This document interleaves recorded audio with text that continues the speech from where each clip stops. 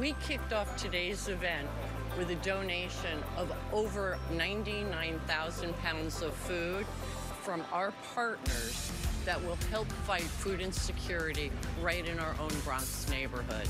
We see the need on our end, and that's why we are so uh, focused on being able to, to participate and every year try to increase what we do.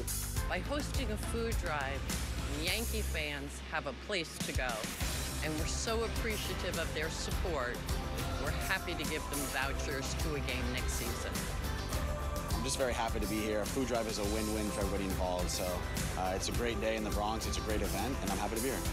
During the holidays, with people needing so much stuff, especially in the Bronx, and being able to see the actual people come in and donate and participate also like today there's no words to be able to describe that during the holidays right i mean it just it's amazing to be able to be a part of that you know food drives are, are, are immensely important for, for people in need um, and people who don't have access to food so uh, with the yankees reach bring a lot of food it's a wonderful cause i'm happy to be here that was a quick look at the Yankees' 28th holiday food drive held on Wednesday, an event presented in conjunction with C-Town and Bravo Supermarkets along with Krasdale Foods.